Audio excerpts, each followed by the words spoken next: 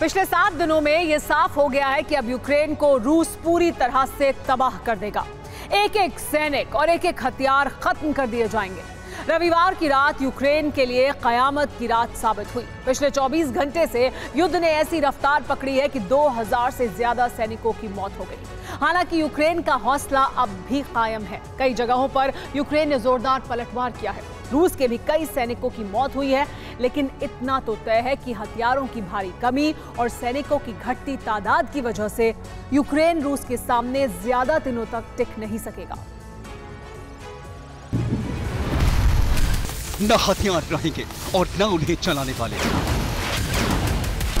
रूस की सेना अब इसी फॉर्मूले पर आगे बढ़ रही है। हमले वही हो रहे हैं जहाँ यूक्रेनी सैनिक इकट्ठा हैं। धमाके वही हो रहे हैं, जहाँ हथियारों का जखीरा रखा गया है। ताबड़तोड़ प्रहार ने ऐसी रफ्तार पकड़ी है कि 24 घंटे में ही यूक्रेन में शवों का अंबार लग गया। और रूस ने इतना बारूद बरसाया कि सैकड़ों हथियार भस्म हो गए। जेलेंस्की को पहली बार इतना खतरा महसूस हुआ कि उन्हें अपना ठिकाना बदलना पड़ा।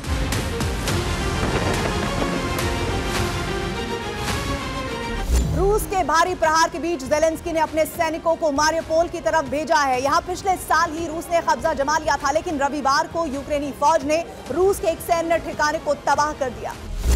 मारियोपोल में रूस की सेना बेफिक्र है।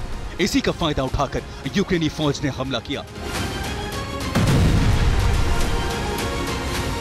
और रूस के एक सैन्य ठिकाने को आग के हवाले कर दिया गया। आग की वजह से रूस के 10 सैनिकों की मौत हो गई। रशियन आर्मी के तीन ट्रक जल गए। पाँच गाड़ियाँ भी आग में नष्ट हो गईं। डोनेस में यूक्रेन का ताबड़तोड़ हमला जारी है। रूस के सैनिकों के भारी जमावड़े के बावजूद यूक्रेन हर दिन रूस को बड़ा नुकसान पहुँचा रहा है। यूक्रेन यहाँ हाइमर्स का इस्तेमाल कर रहा है। हाइमर्स के जोरदार प्रहार की वजह से रूस के चार होइजर नष्ट हो गए।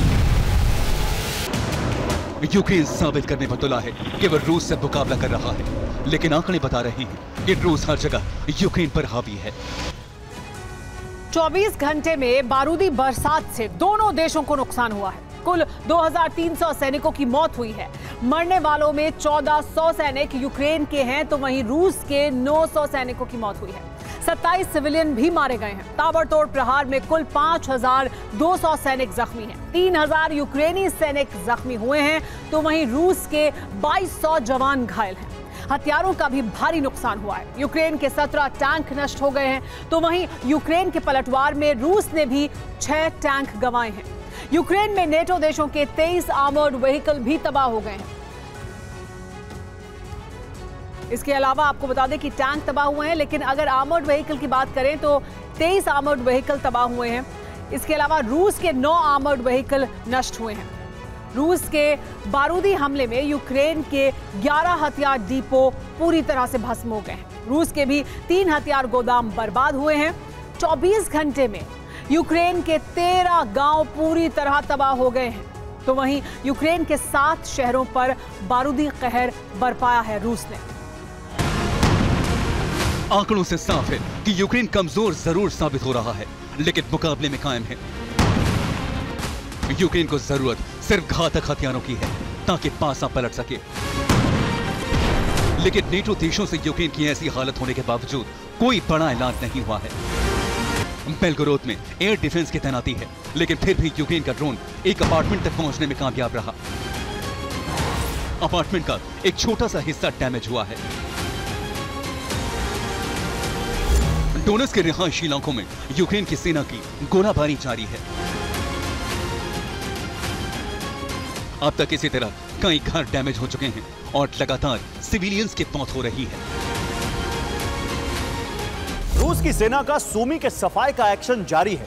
रविवार को सूमी के नौ इलाकों में भयंकर गोलाबारी की गई जिससे सूमी के कई घरों और अपार्टमेंट को नुकसान पहुँचा है। सूमी यूक्रेन का अगला बाखमुद बनने वाला है क्योंकि यहाँ पिछले 20 दिनों से गोलाबारी हो रही है।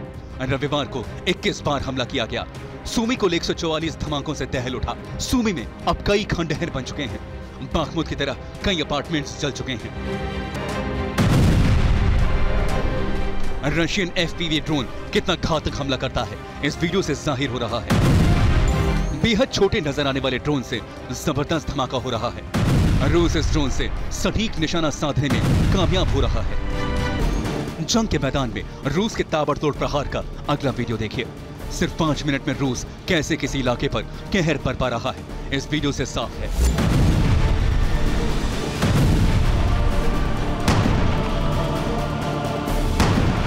आर्टिबोवर्स में रूस के टैंक और इन्फेंट्री ने मिलकर यह हमला किया था।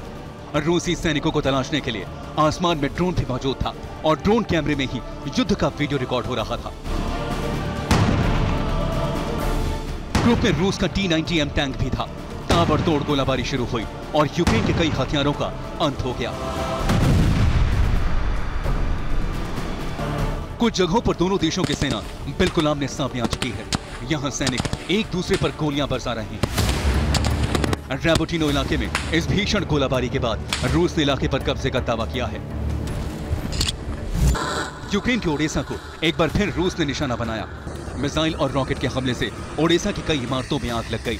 रिपोर्ट के मुताबिक, ओडिशा में रूस ने कामिकाजे ड्रोन और मिसाइल से रविवार की रात को हमले किए। ये रूस का Tor M2 anti aircraft missile system है।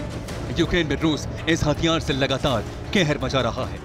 रूस ने इसकी तैनाती यूक्रेन के ड्रोन को गिराने के लिए की है। कोपियांस में कब्जा करने के बाद रूस का anti aircraft missile system Ukraine के किसी भी हवाई हमले को नाकाम करेगा।